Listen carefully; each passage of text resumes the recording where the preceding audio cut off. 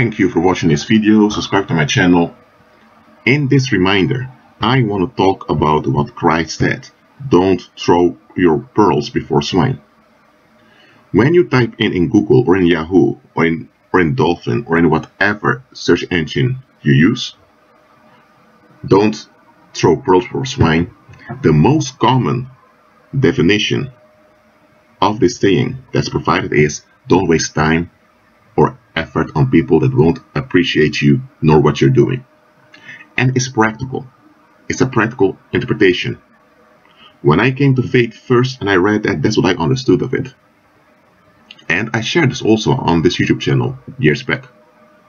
But when you look at the bigger picture, because when you are reading what Christ said, look at the bigger picture, because Christ isn't dealing with the small picture. He looks at things in their entirety. When you look at the bigger picture, what Christ is saying here, you'll notice more things. People tend to look on the small picture, like people appreciating you or not, or people becoming upset. And you don't want upset people because you don't want any awkward situations, so you leave people alone. That's what people make of it, because people want to be at ease. And there's nothing wrong with people wanting to be at ease. But, they, but there's, a, there's a trap here. And this is a trap that Christ is preventing you from being trapped by. This is what Christ is warning you for. Of course, you don't want awkward situations. Of course, you don't want friction. So, of course, you back off from people that have a will against you. You're not going to look for danger, are you? Of course not. Of course, you want to get along. Of course, you will concede when people are violent. For example, when you have a bank robber, or, or let's say a robber with a gun you concede, you cast away your belongings so that the robber will not take your life or wound you. Or let's say that you have people that keep complaining about something. After a while, you may cast away your your stance and think, you know what, you're right. Why? Then there's ease. So such things are understandable. And that is what people preach that you need to know when to stop so that people won't get pissed off and turn on you. It's practical advice, but is that really the intention of what Christ said here? Don't cause your pearls for swine. Christ did tell you to shake the dust off your feet and move on. That's true. But causing pearls for, for swine, there's another reason why Christ said that. Now, look at the bigger picture, please. When Christ walked the earth, you had horses, they were used for chariots, and yet sail ships. You had no fast technology. So, to travel around, you either went by foot or you used horses with chariots. Or you went on a donkey, but that was quite slow. So traveling was quite expensive and it took days, sometimes even weeks. And swine are the type of animals you didn't want to encounter. Why? Because they were dangerous, they could just attack you, and if you're on your way somewhere you don't want that, um, they carry diseases with them, even though many people didn't have biological knowledge then, but still they carry diseases because they had all kinds of bacteria in their bodies the, the swine also fed off garbage, like uh, excrement and all of that. So they also had a bad smell with them. And swine often hung around in groups, and in groups, they were dangerous, could devour you. So swine were the type of animals you don't want to encounter, and everyone knew that. So nobody in their right mind would want to be near a swine, nor have swine near them. So when Christ said, don't throw your pearls for swine or don't cast your pearls for, pearls for swine, people would have looked at them and think, Jesus, what are you saying here? If you would have told us, don't cast your pearls before thieves, okay, that's reasonable, but before swine? Come on, Jesus, you know that nobody in the right mind want to hold on to a swine, do you? But here's the thing. Your natural understanding can deceive you Christ told us in the Old Testament, do not rely on your own understanding. Now let me tell you, when you rely upon your own understanding, even if your own understanding works for you, you can be throwing pearl, you could be throwing pearls before swine, when I say casting pearls before swine, without you being aware of it. Because you look at situation and situation works. But you don't look at the bigger picture. Now, okay, let's continue.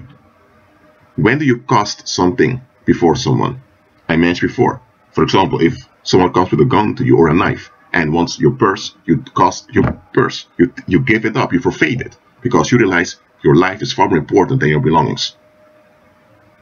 Or if you're in a situation and you realize that it could escalate, you tend to appease the other individual by cooperating with individuals so things won't get out of hand. And that's a practical thing to do. There's nothing wrong with that. But just understand that there are certain types of people that have no interest in peace whatsoever. They want to be relieved at all costs. Now, people in general want relief. That's how worldly people are. But there are people that want relief at all costs. And such people, they are not reliable at all. They are not operating in reality. They're operating in some alternative universe. They're not real. Okay? So such people, you cannot be at peace with them. So you cannot walk in peace with such people. To think you can, well, that's a big mistake. A mistake that may even cost you your life or cost or bring a lot of danger on you. Look, casting pearls for swine, think of it this way. When you cast something before someone, you forfeit it. Because you think in this situation this is not valuable. Now look, when it comes to a bank robber, you hand over the money. Of course the money is less important than your life and the safety of people around you, that's true. But apart from such obvious situations, look at daily circumstances this way. People want peace. And that's a good thing. Nobody wants contention and strife because that is bad for your health. It will take away the, the joys that you have in life. So nobody wants that. People want to be at ease. People want to be left alone. And it's this longing to be left alone that's trapping people. Much of our own understanding is related to how we can be left alone. So we comply, we cooperate so that we're left alone. It works. I'm not saying it's bad in itself. Christ did similar things, but you need to know when you just need to walk away from a situation, whatever it is. Because look, in the New Testament, it's also written, do not cast away thy confidence. Your confidence is you walking by faith. Why would the word tell us not to cast away our confidence if it wasn't possible for us to cast away our confidence? Because this is what happens. Not always, but this happens. Yes, when walking by faith, operate in the power. Contention arises. People begin to will against them. So they begin to give in to what people will so they are left alone. And Christ telling you, don't do that. When you do this, you're causing pearls before swine. Because your confidence in walking by faith are like a bunch of pearls. It's powerful. Why? When you walk by faith, when you, when you agree with Christ, you choose for long-term, permanent health, biblical abundance, uh, supernatural provision, permanent youth. Your youth is renewed every day. Um, you overrule violence because you cast out the spirit of fear and spirit of violence. So when you walk supernaturally, yeah, man, you operate in the power. It's quite powerful. And you need to operate in this power to overrule danger around you. So when folks begin to retaliate against you because you walk supernaturally, don't cast away your confidence in walking supernaturally just to get ease with those people. Don't. Look, I'm not talking about religious freaks here that go in the streets and scream the truth. I'm not talking about that. I'm talking about those that really walk supernaturally. Because when Christ said this, don't cast your pearls before swine, he was talking to believers, talking to those that agree with him. He was not talking to the, to the religious zealot out there. He wasn't. So, when you walk supernaturally, realize that people will be upset with you. Not all people, but there are people who will be upset with you. But they won't have a reason for it. Because there is no reason for it. It's just that they want to be relieved at all costs. And such people don't want to be challenged.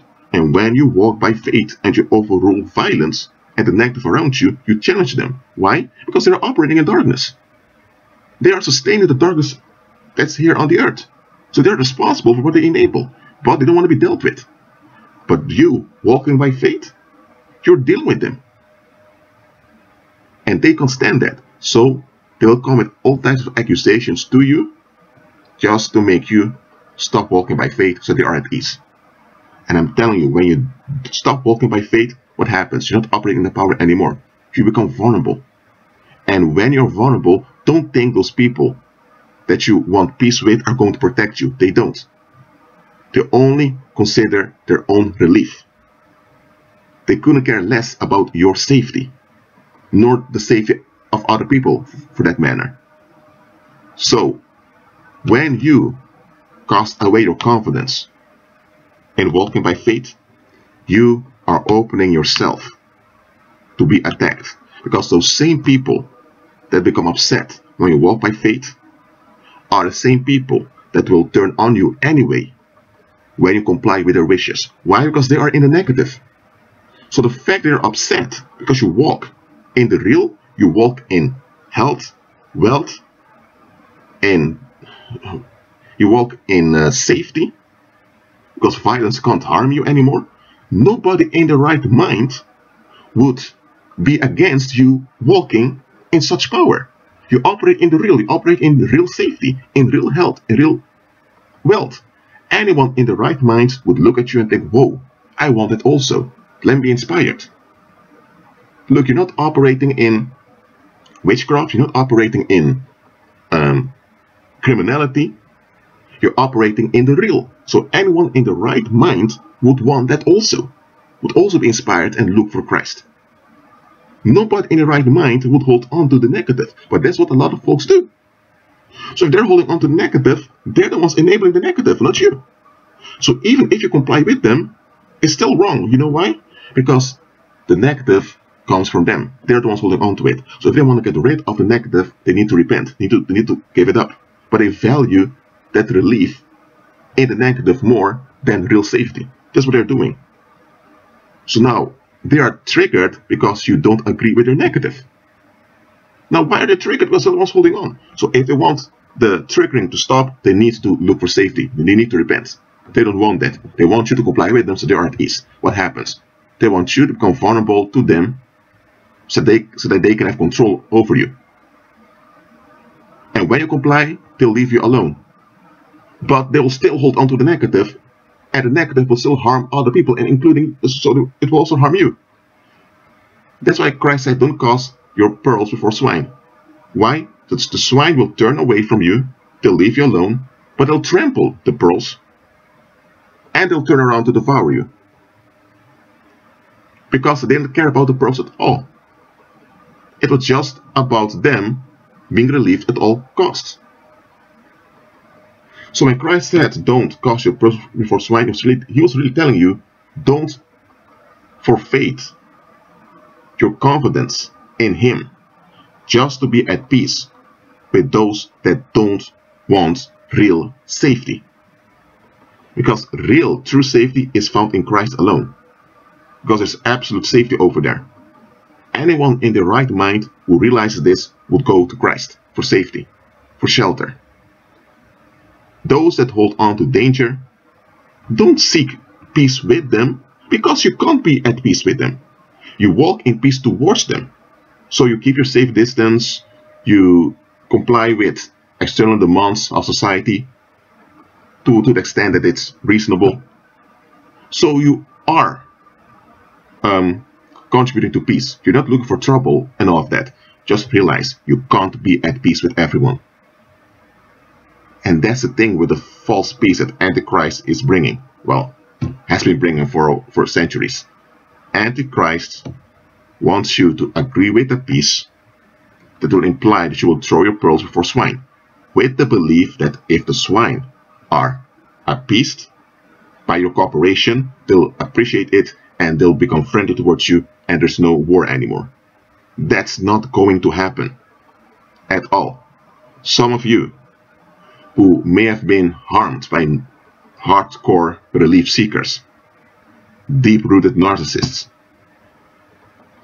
Some of you know what I'm talking about. You can't be at peace with such folks.